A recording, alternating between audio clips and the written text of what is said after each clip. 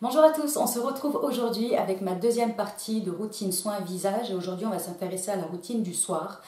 Euh, donc tous les produits que j'utilise, vous allez voir, je, vais vous présenter également des alternatives euh, de, produits, comme ça ça peut vous permettre de choisir entre différentes marques, différentes euh, odeurs aussi, ça peut, être, ça peut être pas mal pour vous pour proposer plusieurs choses. Donc on commence tout de suite. Premier geste de routine du soir, c'est bien sûr le démaquillage. Vous savez, moi j'utilise euh, toujours un baume huile euh, pour enlever vraiment le gras du maquillage et ensuite euh, je passe au nettoyage. Donc là, celui que j'utilise en ce moment et que j'ai déjà utilisé, que je vous ai déjà présenté, il s'agit du beurre noir démaquillant de chez Natura Siberica. Donc qui est vraiment très très épais. Vous voyez, c'est un baume comme ça épais. on prélève une petite quantité, on chauffe un peu le produit dans la paume des mains et ensuite on vient démaquiller. Il démaquille parfaitement il ne pique absolument pas les yeux, il vient à bout de tous les maquillages, euh, même waterproof. Euh, celui-ci, il est très très bien. Et du coup, ensuite, je le rince avec un, avec un gant ou en général, ensuite, euh, une fois que je suis démaquillé le visage, je passe sous la douche, donc je rince directement sous la douche. Ensuite, je viens nettoyer ma peau et toujours pareil, celui-là, je vous, l'ai déjà présenté, je l'utilise depuis plusieurs mois et il me correspond vraiment très très bien. Il s'agit de l'émulsion nettoyante de chez Oh My Cream. Donc là, on est sur une crème nettoyante. Euh, c'est vrai que jusqu'à présent, j'utilisais des gels, mais je les trouvais finalement un petit peu trop décapants pour ma peau. J'avais la sensation qu'avec une crème, euh, ma peau n'était pas bien nettoyée, alors que si parfaitement, c'était vraiment une idée reçue que j'avais. Je faisais pas forcément les bons gestes avec un gel nettoyant. Euh, j'ai la peau sèche, pour rappel, à imperfection déshydraté. Et celui-ci, du coup, il convient parfaitement, il nettoie bien, il laisse un petit film un petit peu sur la peau. C'est pas un film gras, mais c'est un film, on dirait, euh, un film de douceur, où on sent qu'on a la peau quand même euh, très souple ensuite, et ce qui est, ce qui est très agréable, donc il est très très bien. Ensuite va venir l'étape de l'exfoliation. Donc euh, là, c'est pareil, l'exfoliation, c'est quelque chose que je ne faisais pas. plus en tout cas depuis un certain temps, puisque plus jeune j'utilisais des exfoliants à grains et je trouvais ça beaucoup trop, euh, trop abrasif, trop irritant, trop costaud pour, pour ma peau. Finalement, ça ça, ça lui faisait pas du tout du bien. Et j'ai découvert en début d'année la poudre exfoliante de chez Oh My Cream Skincare. Donc qui est une poudre très très fine que l'on donc on en met un petit peu dans le creux de la main. Pareil, je fais ça sous la douche. On émulsionne avec de l'eau, on frotte ses mains pour obtenir une pâte et ensuite on passe, on passe sur tout le visage. moi je masse pendant une minute environ et ça laisse la peau vraiment toute douce. Il n'y a absolument, absolument pas de grains dans cette poudre-là. Donc ça, c'est une poudre que je peux, que j'utilise tous les jours. Alors il y a parfois quelques jours, euh, peut-être un ou deux jours dans la semaine où je n'utilise pas, mais c'est vraiment plus pour une, pour une question de temps. Mais sinon, elle convient parfaitement aux peaux sensibles. On peut l'utiliser celle-ci très régulièrement. Donc là, du coup, maintenant, je vais vous présenter des alternatives pour l'exfoliation, car c'est vrai que rajouter cette étape exfoliante dans la routine change vraiment euh, je trouve la qualité de la peau vraiment au niveau de la texture. On, a une peau beaucoup moins texturée, une peau beaucoup plus lisse grâce à l'exfoliation. Et donc j'utilise la poudre My Cream et une à deux fois par semaine j'utilise le Daily Microfoliant de chez Dermalogica. Donc on est exactement sur le même type de produit que la poudre exfoliante Oh My Cream. C'est une poudre qu'on on va émulsionner avec de l'eau, on va obtenir une pâte. La seule chose dans le Dermalogica, c'est qu'il reste un tout petit peu de grain dans la préparation qu'on va obtenir. Euh, c'est vraiment minime, mais finalement, après l'avoir utilisé plusieurs fois ce produit, je me rends compte que l'utiliser sur tout le visage, c'est un petit peu trop costaud pour moi parce que alors avec celui-ci, je vous garantis, la première fois, dès la première utilisation, on a un effet tout de suite. C'est avec la poudre, il faut attendre, faut attendre plusieurs semaines avant de se rendre compte un petit peu du résultat de la texture de la peau. Là, c'est vraiment immédiat. Et du coup, ce que je fais, j'utilise euh, finalement, selon ce que nous recommande Dermalogica, ils ont la technique euh, du face mapping, c'est-à-dire qu'on va utiliser le produit là où euh, la peau en a vraiment besoin. On n'a pas besoin d'utiliser le produit sur tout le visage parce qu'en fonction de, des zones du visage, on va avoir des besoins différents. Donc la Dermalogica, je l'utilise deux fois par semaine sur les joues et au niveau du menton, de la mâchoire, en fait, j'utilise pas sur le front, tout simplement qui est trop costaud. J'ai pas besoin d'une exfoliation aussi intense sur le front. Mon front est plutôt lisse. J'ai rarement des, textures, des petits boutons sur le front, donc j'y touche pas trop, sinon c'est un petit peu trop fort. Et alors là, euh, c'est vrai qu'au niveau des, points noirs, des micro-kystes, cette poudre-là d'Armalogica, il joue vraiment. Ensuite, une troisième option pour l'exfoliation, euh, il s'agit d'un tonique cette fois-ci, de chez Rennes, c'est le Ready Steady Glow. Euh, notion tonique aux AHA qui va agir euh, alors sur les imperfections, dont les microquistes, elle est très très bien pour ça. Elle va agir aussi sur la, pigmentation de la peau. Et elle contient différents acides, dont l'acide lactique, qui va, qui va avoir aussi un effet hydratant. Donc cette lotion-là, je vous en ai beaucoup parlé, c'est une lotion que j'ai eu utilisée tous les soirs. Je l'ai tout à fait bien supportée, tolérée, j'ai pas eu de picotement, pas eu d'irritation. Je la passais vraiment sur l'ensemble du visage en évitant le contour des yeux. Je passais sur le cou, le décolleté. Euh, je, la passais, je la passe également sur le dos des mains quand je l'utilise. Donc maintenant, j'utilise plus qu'une fois par semaine. Euh, c'est surtout pour la finir dans mon cas, parce que j'ai quand même beaucoup de produits. Comme je vous dis, je vous présente des alternatives. Mais si vous n'êtes pas trop euh, pour l'exfoliation comme ça en poudre, cette technique-là, euh, sachez que celle-ci, elle marche vraiment très très bien. C'est mon, deuxième flacon et je trouve effectivement qu'elle a une, action sur les taches pigmentaires, que ce soit les, cicatrices de boutons ou même, ou même les, taches du, les taches brunes du haut soleil. Donc euh, très très bien et elle est assez douce. Ensuite, donc du coup, quand, euh, quand je sors de la douche, je passe euh, une pulvérisation d'eau thermale pour enlever le calcaire que j'essuie avec un mouchoir en papier.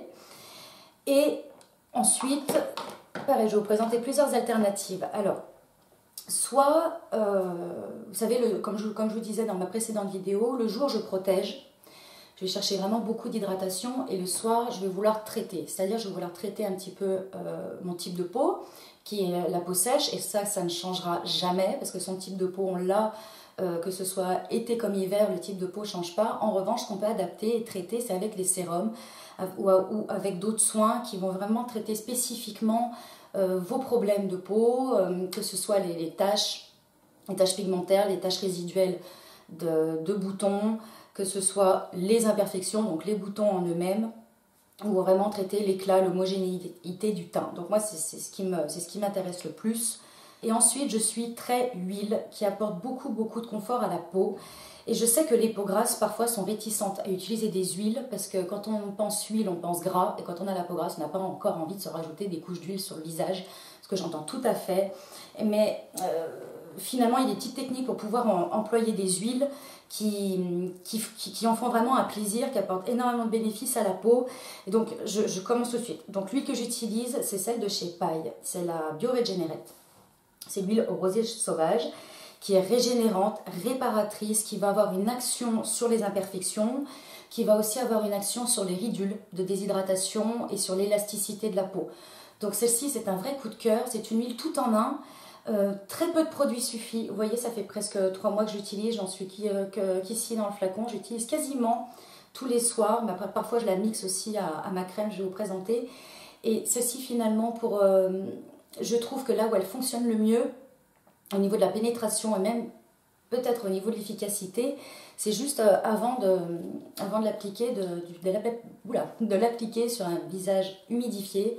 Donc avec une petite brume, euh, là j'ai la brume de chez Wamisa qui est très très bien, mais il y a aussi sur Instagram, je vous présentais celle que j'aime découvrir, celle de chez Pulpe de Vie, qui coûte vraiment pas cher. Et vraiment, ça fait toute la différence. Les filles, essayez vraiment, et les garçons, d'appliquer votre huile sur un visage humide. La différence est extraordinaire. On n'a presque pas de, de sensation de texture huileuse sur la peau au bout de, bout de 5 minutes, ça absorbe littéralement l'huile, le fait de pulvériser son visage avec de l'eau, avec une brume. Donc, euh, donc je vous conseille vraiment ça. Donc soit j'utilise l'huile paille seule, et puis, euh, je, m'en arrête là, parce que je vois que j'ai pas besoin de, pas besoin de, plus sur ma peau. Soit je sens que ma peau a vraiment été inconfortable durant la journée, euh, petit coup de sécheresse en plus, et à ce moment-là, j'utilise cette crème de chez Antipode, c'est l'Avocado Pire. Donc c'est une crème de nuit nourrissante qui pareil va être réparatrice, très nourrissante. Elle contient de l'huile d'avocat. Et en plus de ça, c'est une crème qui va booster euh, la, production de collagène.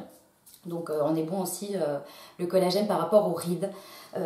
le semaillage justement qui, vient se, se défaire un petit peu avec le temps, avec l'âge.